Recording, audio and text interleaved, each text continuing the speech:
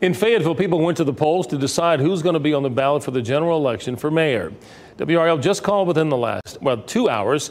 Incumbent Mitch Colvin took more than 60% of the vote. He and Freddie De La Cruz will move on to the general election.